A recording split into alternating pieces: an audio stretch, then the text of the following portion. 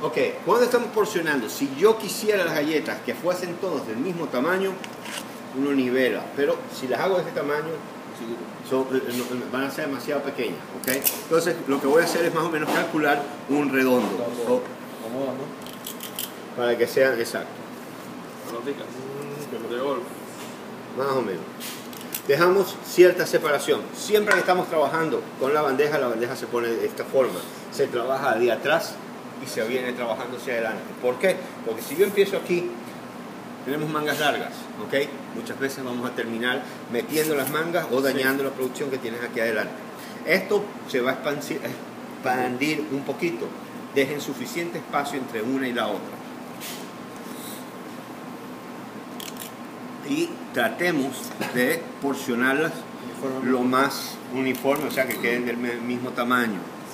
Como aquí estoy agarrando y estoy poniéndole extra, es difícil, o sea, no, eh, pueden quedar diferente tamaño. Cuando estamos haciendo producción y vamos a la segunda línea, la segunda línea en el medio de estas dos, ¿ok? ¿Por qué? Porque de esa forma el calor le golpea de una forma más pareja a toda la producción y el horneado es más parejo. Yo pensé otra cosa, pensé por la cuestión de unirse y, y de para el calor. No, bien, el, el- el espacio.